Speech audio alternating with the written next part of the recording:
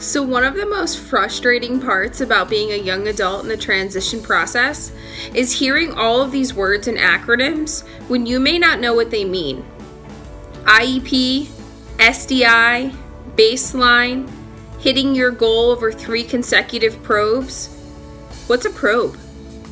Right? This can be so confusing and make your head completely spin trying to understand what's going on and keep up with the pace.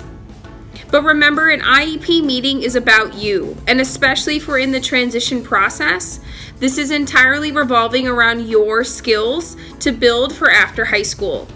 So if something doesn't make sense to you, pause the meeting, ask for clarification. It's important that you understand everything that's being discussed so that you're able to have an active role in your transition process. But there's also other things that can be mentioned at an IEP transition meeting or any IEP meeting that might not make sense to you. And these can be acronyms for agencies. Agency, right? The title of this video. So have you ever heard of things like OVR, the CIL, the ARC, the agency that I work for?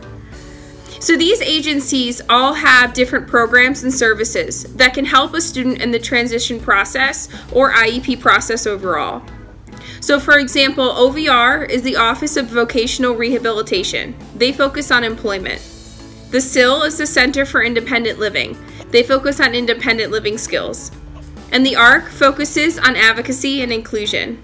All of these agencies can have a key role in helping your transition planning process to be the most successful that it can be for your future. So, do you know what agencies are involved in your IEP meeting or involved in your school?